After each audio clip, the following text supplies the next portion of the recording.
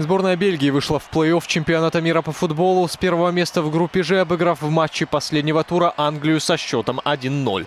Победу подопечным Мартинеса принес великолепный гол Аднана Янузая в девятку из-за пределов штрафной площадки в начале второго тайма. Англичане, как и бельгийцы, досрочно гарантировали себе выход в плей-офф и особого желания отыграться не выказали, хотя пару полуопасных моментов у чужих ворот все же создали. В 1-8 финала Бельгия сыграет с Японией, а Англия с Колумбией.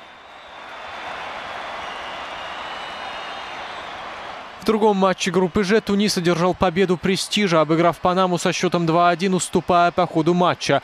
По голу оформили Фахридин Бен Юсеф и Вахпи Хазри. Тем не менее, и для Туниса, и для Панамы турнир завершен. В пятницу на чемпионате мира день отдыха, а в субботу стартуют матчи плей-офф.